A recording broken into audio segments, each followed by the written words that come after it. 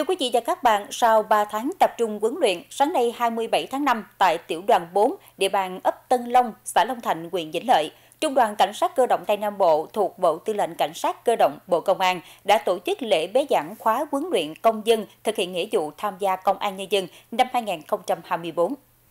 Dự lễ có Đại tá Phùng Giang Chiến, Phó Tư lệnh Bộ Tư lệnh Cảnh sát cơ động, Trung tá Võ Văn Phong, Trung đoàn trưởng Trung đoàn Cảnh sát cơ động Tây Nam Bộ, cùng ban lãnh đạo tiểu đoàn 4, đại diện lãnh đạo công an các tỉnh Bạc Liêu, Cà Mau, Kiên Giang, Hậu Giang và lãnh đạo huyện ủy, Ủy ban nhân dân huyện Vĩnh Lợi.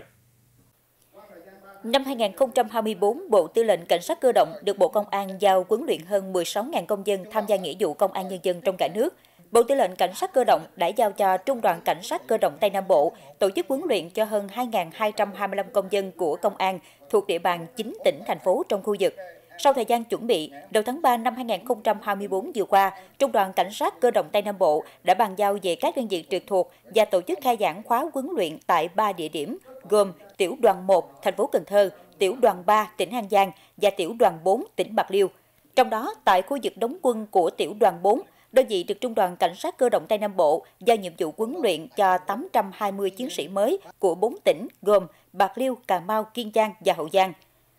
Qua thời gian 3 tháng cắm trại tập trung, các chiến sĩ mới được các đơn vị thuộc Trung đoàn Cảnh sát cơ động Tây Nam Bộ huấn luyện trang bị nhiều kỹ năng của chiến sĩ cảnh sát cơ động như võ thuật, sử dụng vũ khí, công cụ hỗ trợ, kỹ thuật tác chiến, bơi lội, phối hợp trong thực hiện nhiệm vụ bảo đảm an ninh trật tự, bảo vệ Tổ quốc. Kết thúc khóa huấn luyện, qua đánh giá kiểm tra cho thấy các chiến sĩ mới không chỉ phát triển tốt về thể chất, thể lực, kỹ năng chuyên môn, nghiệp vụ mà còn có bản lĩnh chính trị vững vàng, có phẩm chất đạo đức tốt, nhận thức đúng về trách nhiệm của bản thân với gia đình, xã hội, trách nhiệm của người chiến sĩ công an cách mạng. Qua kiểm tra đánh giá kết quả cuối khóa, xếp loại học tập, huấn luyện, có 100% chiến sĩ mới đạt yêu cầu đề ra, đảm bảo các điều kiện để trở về đơn vị công an các địa phương công tác. Trong đó tỷ lệ khá giỏi đạt gần 19%, tỷ lệ khá đạt gần 60%. Phát biểu tại lễ bế giảng, Đại tá Phùng Giang Chiến, Phó Tư lệnh Bộ Tư lệnh Cảnh sát cơ động đã đánh giá cao kết quả công tác tổ chức tiếp nhận huấn luyện của Trung đoàn Cảnh sát cơ động Tây Nam Bộ cùng các tiểu đoàn trực thuộc và chúc mừng các chiến sĩ mới đã hoàn thành tốt khóa huấn luyện công dân thực hiện nghĩa vụ tham gia công an nhân dân năm 2024 đồng thời đề nghị sau lễ bế giảng, các đơn vị huấn luyện phối hợp chặt chẽ với công an các địa phương làm tốt công tác tiếp nhận, bố trí chiến sĩ mới.